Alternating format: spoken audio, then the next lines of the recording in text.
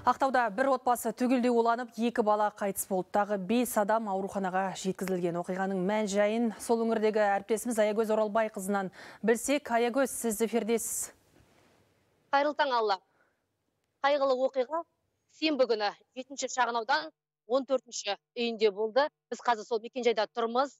102 кезекшісіне шақырту таңертең сағат 9-да түскен. Оқиға орнына жедел э, келген жедел тергеу тобы пәтерден екі жарым жастағы және он айлық екі баланың өлі денесін анықтады. Сондай ақ отбасының қалған бес адамы ауруханаға жеткізілген. Оның екеуі бала дәрігерлер балалардың бірінің жағдайы ауыр екенін айтады. Алдын ала мәліметке сүйенсек қайғылы жағдай көршінің салғырттығынан болған. Себебі төменгі қабатта тұратын көрші әйел үйін пәтерін қандалаға қарсы улап оны ешкімге ескертпестен кетіп қалған. Қазір осы оқиғаға қатысты қылмыстық іс тергеу жүргізілуде бірнеше сараптама тағайындалған. Қосымша ақпараттармен кешкі шығарылымда толықтырып айтатын боламын. Алла. Түсінікті аягөз ақпаратыңызға көп рахмет. Алдағы уақытта тағы ақпарат күтеміз.